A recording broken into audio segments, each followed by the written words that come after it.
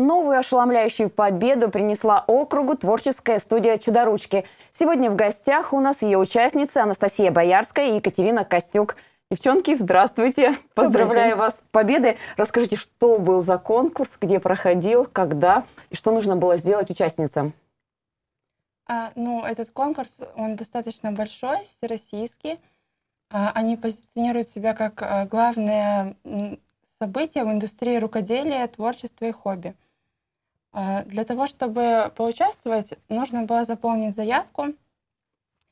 А, там было очень много номинаций, вообще в конкурсе много номинаций. А, лучшие интернет-проекты, объединения, вот мы участвовали. И еще разные мастера могли участвовать. Мастера скраббукинга, вышивки, вязания. Ну вот дизайнеры, вообще, да, дизайнеры, модельеры. там были, показывают э, своих нарядов тоже были. Конкурс назывался «Золотая пуговица». «Золотая да? пуговица», mm-hmm. да. Вот. Э, я подавала заявку от себя как мастер по скраббукингу, но там не набралось количество участников почему-то, и мы уже участвовали как мастер декоративно-прикладного искусства. Вот. А еще подавала заявку от нашей творческой студии. А, ну, в заявке нужно было рассказать а, концепцию, в принципе, нашей студии, рассказать а, наши цели, задачи, вообще, что мы делаем, все, ну, все, что, все наша деятельность. Да, всю, всю деятельность показать. Нужно было приложить много фотографий. Ну, в принципе, у нас нет в них недостатка, потому что мы во многих мероприятиях участвуем. Также Еще одна отдельная графа была показать а, наши грамоты. Тоже грамот у нас достаточно много. Они представлены в нашей группе. А, вот. Их ее тоже прикрепляла. Вот. Сам конкурс проходил в два этапа. Первое это было народное голосование. За нас очень много голосовало людей из нашего города. Мы им очень благодарны. Вот. А второй этап это был экспертное э, совещание экспертной комиссии. Вот. Э, и потом по итогам вот этих вот двух этапов нам ну, уже назначали места. Угу. Вот. Ну, мы, конечно, переживали, но верили, что в наш день рождения мы должны победить. Для участия в заявке еще надо было видеоролик э, снять. Вот мы нам в этом помог смонтировать ролик, помог Сергей Ладыкин, за что ему огромное спасибо, конечно. Вот. И в ролике мы представили как раз-таки деятельность. Это был монтаж э, с э, мероприятий, которые мы проводим. Как э, организаторы конкурса пояснили, что они вот больше именно уклон сделали, что нужно видео, нежели фотопрезентация. Да, фотографии так были приложены. Но говорят, что из видео будет понятно, понятно. что вы за люди, как говорится. Вот. И, ну, все равно картинка видео, она лучше воспринимается человеком, да, нежели просто по фотографиям. Там все-таки ну, и голос, и поведение людей, оно настраивает. Если это положительные люди, то, соответственно, и настраивает на положительный лад. Вот поэтому э, мы, конечно же, приложили усилия и вот э, видеоролик отправили, посмотрели, как нам потом организаторы сказали, что э, наша студия вызвала такой Бу, да, ажиотаж и бурное общение а, у экспертного совета, да, обсуждение. Вот по народному голосованию мы первое место у нас э, мы заняли. А вот э, экспертный совет нам второе место дал. Но в сумме среднее вышло все-таки первое место. А сколько было участников, Настя? А участников по нашей номинации я точно не помню. Тоже а вообще не помню. Не, не в итоге они сначала выбирали пять мест, Финалисты. И потом, да, финалисты. И потом из пяти награждали уже три места. Ожидали? Ну, а, ну, мы ожидали, потому что это же видно, это все открыто было. Они размещали да, итоги да, голосования, да, да, да, у нас там первое место было показано. Было и итоги экспертного совета, второе место. Соответственно, как бы, ну, один плюс два и разделить, соответственно, у нас должно быть первое место. Вот. И, а вот номинаций-то у них много, у них 10 номинаций вообще было. Сколько участников, вот, к сожалению, даже вот информация не владею. Давайте о самом приятном поговорим, что подарили, да, и вижу, что не с пустыми руками пришли, принесли свои да, а, нам награды. подарили медаль. Вот, как вы видите, угу. золотая пуговица, а, очень красивая. Вот э, хочу внести им предложение, чтобы они все-таки медальку-то сделали в виде пуговицы. Да. Будет очень логично да, и красиво, я... оригинально. Угу. Вот. А, диплом, естественно, победителя. А, нам также предоставят э, статью в журнале «Формула рукоделия». Это в этом журнале. Да, Надо вот это- сказать, что очень популярный, да, журнал?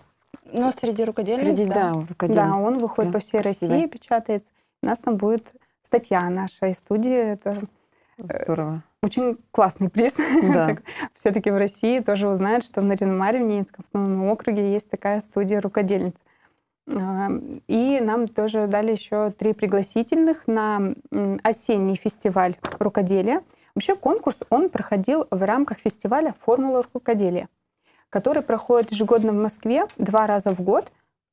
Два. Мгм. Да, и Два раза в год и в течение дня. четырех днней. То есть Вот, это ну, вообще огромный просто фестиваль. Да, огромная выставка. площадка, очень много мастеров представляется. И а, вход туда платный. Нам дали три пригласительных на студию. Там вообще два огромных павильона. Это, в принципе, большое здание. И э, в этих павильонах очень много вот точек. Там представлены а, магазины рукоделия, то есть э, такие большие, там типа Леонардо, которые все знают, еще другие, и, и маленькие разные. Ну, очень много по любым направлениям просто можно было найти для себя. Вот. И, и мастера. Как будете Очень распределять? Кто поедет? Да-да-да. У вас А, выбор, конечно. Да, у нас всё 13 человек в студии. А, Я думаю, что мы этот вопрос обоюдно решим, и проблем у нас даже не будет. Ну в да, Каждый бы хотел туда попасть, да. Да, попасть, конечно, каждый хочет, Но, но это же возможность еще и финансово туда долететь На нужно самом- за свой счет. Да, на самом деле нам ничто не мешает туда всем вместе сесть. Просто вопрос-то финансовый. То есть, э, ну, покупаешь билеты и, едешь. Пригласительные там стоят 300 рублей вход э, на эту ярмарку, да. Поэтому это тоже, по сути, не баснословная сумма. Вот. Э, Съездить мы можем все. А в итоге как получится, это мы уже посмотрим и с девочками все-таки Мгм. на нашем совете решим. Вот. А так площадка, конечно, очень здоровская. Очень много всего представлено. А, Посмотреть есть на что. И, покататься, да, и показать. Э, Меня очень радует тот момент, что по большому счету все, что там было представлено, оно у нас есть. Ну в да, основном. нового мы почти ничего не, не увидели, да. Да. И, и удивило, что не было представлено изделий скраббукинга. Мгм. скраба не было. И ну, появилась такая мысль, вот с Катей мы тоже обсуждали в тот момент, что было бы здорово, конечно, приехать туда и на все четыре дня представить там свою площадку рукодельную с да, мастер-классами, студии. с э, выставкой изделий наших и на немецкую тематику. да, Да, конечно, обязательно. А, И, ну, и другие тоже изделия представить на, другой, на другие тематики. Это было бы очень здорово, конечно. И народу было бы понятно, да? Они прошлись по площадкам, посмотрели, ага, чудо-ручки, увидели все наши изделия, то есть уже э, понимают, кто мы и что мы. А Вот. Это, ну, это такие планы на будущее, я бы даже сказала. Мгм. Это было бы здорово. Настя, давай нашим телезрителям поясним. Ты у нас не просто участница, ты руководитель этой студии и создатель. Расскажи, как Мгм. все начиналось, почему возникла такая идея? Да, это такие моменты очень э, положительные и как-то даже треп- трепетные. А, ну, началось это все пять лет назад. По сути, в тринадцатом году, в декабре тринадцатого года, э, вообще в тринадцатом году я решила заняться рукоделием, вязать. А Вот. Э, Я и раньше пыталась э, научиться вязать, мама меня учила, но как-то вот в душе не легло, никак не могла это освоить, хотя брат у меня, кстати, э, чуть-чуть вязал, и у него получалось очень здорово. Вот. Но в тот момент я не приобрела любви к данному занятию, и в тринадцатом году, когда родился сын второй, а, я решила ему пинеточки связать. И вот с пинеточек-то все и началось. Хорошо стало получаться, мои друзья меня поддерживали, подкинули идею создать группу ВКонтакте, э, показывать изделия свои. Вот. Я их послушалась, группу создала. И в итоге потом появилась мысль, что а что если девочек, других рукодельниц с округа тоже э, ну, пригласить в эту группу и, и вместе как раз ее и развивать? Потому что вместе-то это и проще, веселее, интереснее, и идеи у людей есть, да, другие. Вот. И таким образом в группу стали добавляться девочки. Где-то я сама искала. Катя вот... пом- Ну, у меня Катя, по-моему, сама, получилось... да, нарисовала мне? А, Нет, у меня получилось так, что я увидела группу, что вот есть, там есть девочки какие-то, и они выкладывали свои работы. А, а я перед этим тоже э, сделала несколько открыток, меня тоже поддержал очень муж. А, он даже ходил в цветочный магазин, договаривался про реализацию сам, потому что я как-то вот боялась пока продавать. Вот. А потом э, я тоже создала страницу просто и стала показывать свои работы. Вот. И я добавилась в группу, и молча добавилась к Насте в друзья. А, да. Да, и Настя мне написала, пригласила меня, ну что, в группу как мастер. Мгм. Да. И вот так вот, таким методом э, стала группа-то расти, участниц, рукодельниц стало больше прибавляться, тем более, что когда ты занимаешься рукоделием, ты все равно волей-неволей складывается так, что ты этих люд- э, люди к тебе подтягиваются, тоже, э, за- э, которые занимаются творчеством. И вот одна мастерица пришла, э, она знает другого мастера, и вот так хоп-хоп, и сейчас у нас на данный момент уже 13 человек. А в 2014 году мы решили как раз-таки зарегистрировать некоммерческую организацию. А цель была основная — это то, чтобы наши мастер-классы проходили бесплатно для населения, потому что материалы дорогие, мы даем современные виды рукоделия, и материалы это не дешевые. Чтобы наше население могли попробовать, посмотреть, прийти поучаствовать, мы решили, что а, ну, нам подсказали в молодежном центре, кстати, подсказали, что можно э, участвовать в конкурсе грантов, но необходимо зарегистрироваться. Мы собрали все свои силы, вместе над уставом работали, э, написали устав, подали документы, вот, зарегистрировались. И были мы зарегистрированы 17 февраля 2014 года, 2014. Ну, сначала эта дата как-то Да, нас прошла мимо. 17 единственное, что мы заметили, что это день спонтанного проявления доброты, да? Да, потом спустя какое-то время а, мне тут подруга говорит, Настя, а ведь день спонтанного проявления доброты это как раз 17 февраля, в тот день, когда вы зарегистрированы. И вот, я не знаю, это какой-то, наверное, божий знак. Да-да-да. Так удачно получилось, не специально. Настя, ну ты же еще у нас а, обладатель звания лучший доброволец России. Расскажи, это тоже добрый знак такой был. Наверное, в да, 2016 тоже всё- году стала все вместе связано. В 2016 году я участвовала в конкурсе, Всероссийский конкурс, конкурс добровольцев России. На этот конкурс был представлен мною наш проект совместный с девочками. Э, Он назывался «Талант в каждом». А, Конкурс, э, участников в конкурсе было много. А, Были определены три, побе- три финалиста. И уже итоги конкурса были представлены на форуме добровольцев России. Э, Вот мы заняли первое место в номинации «Социальное волонтерство. Помощь детям». Ну, там был проект представлен, э, смысл проекта заключался в том, что мы проводили мастер-классы тоже э, по всем видам рукоделия, которые мы представляем в студии для населения. И э, был у нас конкурс. Э, Дети рисовали рисунки вымышленного героя. И мы по этим рисункам у победителей шили игрушки. Шили и вязали с девочками. Э, Вручали потом победителям. Вот этот конкурс, вот этот э, проект нашел одобрение, высокую оценку среди экспертного, у экспертного совета. И наша победа а, нам, нам, да, нам досталась, как говорится. А в 2015 году на этом же конкурсе мы тоже участвовали. Там студию представляла Екатерина Тарасова, мастер и учредитель «Чудо-ручек». Она представляла конкурс по ступеням творчества, э, проект. Мгм. Это был наш первый проект. И вот тоже он так хорошо был оценен. Э, Он вышел в финал проекта в- номинации «Лучший проект в сфере культуры». Мгм. А, Настя, расскажи еще о каких-нибудь интересных проектах, на твой взгляд. У вас же на счету очень много. Ну да, вот на данный момент э, мы закончили в декабре 2017 года, э, года закончили проект «Эколо... э, «Природа добра». Мгм. Мы там проводили в Пустозерском доме интернат мастер-классы и э, облагораживание территории мы у них сделали летом. Мы высадили там клумбу, привлекали волонтеров. А, Нам помогли, вот мужья у нас помогают всегда, у всех девочек в студии. И один из супругов помог э, сделать и домики из дерева, и там такая дизайнерский Такая идея была А, дизайнерская, да, интересная. да. Очень красиво получилось. И руководству, и подопечным Пастазерского дома-интернат э, понравилось, и они э, очень хорошо о нем отозвались, попросили дальше продолжать в том же духе. В рамках этого проекта мы проводили э, конкурс видеороликов. Тоже в нем участвовало много жителей э, нашего округа, э, и как отдельные люди, так и коллективы, классы там целые прям. Вот. Ну, это были видеоролики такой экологической направленности.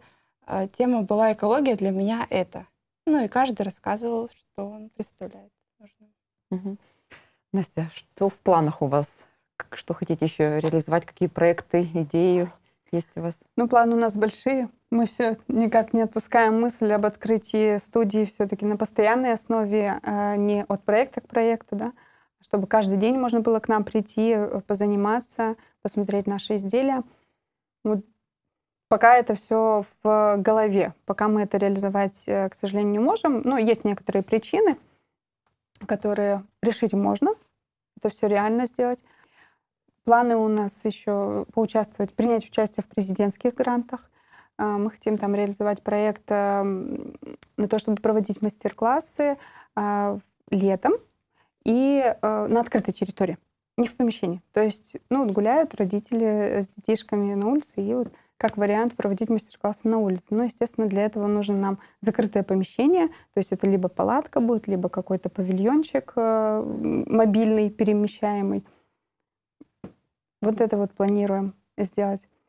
Настя, а вот э, кроме каких-то благотворительных проектов, чем вы еще занимаетесь, да, чем занимается ваша студия? Мастер-классы для... То есть каждый может, желающий, прийти к вам, научиться чему-то, да, и как часто это у вас происходит? Вот расскажите поэтому. Ну вот на, на данный момент это происходит все-таки в рамках проектов. То есть проект мы пишем э, и составляем план мероприятий. Э, зачастую это происходит в основном два мастер-класса в месяц, но сейчас мы больше все-таки нацелены именно на проведение мастер-классов в выходных, когда мы сами приходим к людям. Это Пустозерский дом-интернат, окружной топ-диспансер, это коррекционная школа. Эм, именно к ним приходим сами. А мастер-классы для населения мы проводим и в таком свободном режиме, эм, просто по спонтанному э, желанию. Ну, захотелось провести мастер-класс, мастер его проводит ну и в рамках проекта. Диапазон вот вашего творчества, он просто огромный, да, от скраббукинга до, там, до мыловарения. Вот расскажите, чем еще занимается ваша рукодельница? Ну, у нас есть э, мыловарение, э, девочки шьют кукол, у нас несколько мастеров скраббукинга, вот чем я занимаюсь, у нас есть вязание, э, сейчас у нас есть э, украшения из эпоксидной смолы. Это и... что такое? В общем, Катя делает такие украшения. Она заливает э, специальной смолой прозрачной э, живые растения, цветы. Э, и национальная она делает мох, грибы. Вот, ну, это надо, конечно, посмотреть. Это, да, это, это очень необычно, здорово. И это возможность э, сохранить вот ну, что-то... Частичку. Да, частичку. Вот, ну, может Круга. быть, какой-нибудь там цветок, который ты привезла с отпуска, например. Угу. Ну, как-то вот так. Вот. Потом у нас есть вязание. Что у нас еще Свит-дизайн, да, оформление дизайн, бисер. Ну, вот если украшения, да, я начала говорить. Угу. Это бисерное украшение. Это сейчас девочки делают вышитые броши. Вот. А, недавно к нам новые мастера пришли. Это, ну, наверное, уже не так недавно, да, уже, наверное, год. Э, это украшения из фетра, детские повязочки, и квиллинг. Угу. Это скручивание из полосок ну, бумаги. Да, из бумаги. А есть э, что-то такое, чему еще хотите научиться? Это новые, новые. Мне кажется, у нас каждая девочка чему-то угу. постоянно учится. Сейчас и гончарное искусство вот изучала. Екатерина, Екатерина Тарасова, да. Угу. Девичестве Гончарова. Да, созвучие подходящее. Совпадение. Но у нас вообще совпадение, э, наша деятельность сопровождается все какими-то совпадениями удачными. Вот даже относительно 17 февраля, да, День спонтанного проявления доброты, мы в этот день э, создали беседу рукодельниц. Вот э, да. буквально на днях мы с Катей обратили на это внимание, что именно 17 февраля в 15 году, в 2014 году мы создали беседу, где объединили всех рукодельниц. Вот. 17 а февраля 2015 года у нас зарегистрирована организация, и 17 февраля 2018 года мы стали победителями в конкурсе. Да, то есть результаты объявлялись именно 17 Да, именно 17 награждение было. В какой-то степени это, кстати, было э, толчком съездить туда. Потому что э, ну, мы билеты покупали за свой счет, да, финансирования у нас здесь дополнительного не было. И э, как-то вот эти моменты, что 17 февраля день спонтанного проявления доброты, что мы зарегистрированы в этот день, и награждение еще и победили в конкурсе, это было большим толчком все-таки принять решение туда ехать. Ну вот мы вдвоем съездили, получили массу удовольствия и вдохновения. Mm-hmm. А само мероприятие вот как проходило? Мероприятие было интересным. А, собирались э, и участники конкурса, финалисты, победители. Ну, кто-то, к сожалению, не смог приехать, да, ввиду отдаленности, может, регионов. Э, и также были люди, которые приходили на саму формулу рукоделия. Они тоже могли посмотреть на конкурс, как что происходит. Там был э, показ моделей новых коллекций, очень красивые. Да. Валяние было, да? Да. Представлено э, кофточки с юбками, То костюмы. есть в этом конкурсе, красиво. помимо вот наших номинаций, а, был конкурс э, среди модельеров. Угу. Им давали ну, как бы спонсорскую, э, спонсорскую ткань, да, а, и они а, могли вот из этой ткани э, создать свои какие-то образы, Коллекцию провели потом угу. показ, и, как сказать, руководители вот этой вот фирмы ткани, они выбирали победителя и награждали прямо там на сцене тоже это было. Здорово. Очень красиво, вдохновляет. И это нужно, э, ну, может, не такого высокого уровня, но высокого качества провести в Наринмаре. Было бы здорово, конечно. У нас рукодельниц много, мы не одни, как говорится, да? Uh-huh. Вот. И я думаю, что это была бы красивая большая площадка у нас в округе. Вот как ты считаешь, а, Настя, учиться вот творчеству с детства стоит или все-таки можно и в зрелом возрасте научиться вот чему-то? Ну, границ возраста для творчества, конечно же, нету ни в коем случае. Учиться прививать детям надо обязательно. Mm-hmm. Во-первых, это развитие моторики. А во-вторых, ну и мне кажется, сейчас уже и каждый родитель да, об этом знает, и это везде на слуху. А вот заниматься так, в первую очередь, еще должна быть, конечно же, а, желание. То есть должна душа лежать к этому. Если ты не хочешь, тебя заставляют, к сожалению, из этого ничего не получится. Ну, это даже в любом деле так происходит, да. Но пытаться привить детям, это надо. Mm-hmm. А дальше уже как жизнь разложит, mm-hmm. как уже получится. Вот, э, повторюсь, да, меня обучали, но я не притеплилась. А сейчас с удовольствием, с огромным желанием. А часто вот к вам обращаются вот, жительницы округа, там, вот, хотели бы научиться, не поможете? Есть такие вот пишут ВКонтакте? Ну, научиться в смысле... Ну, чему-то. Вот хочу там мыловарение или скраббукинг. Да, да конечно. Да? И, ну, по сути, и мыловарение тоже, допустим, пишут, и, и мне пишут иногда тоже. Угу.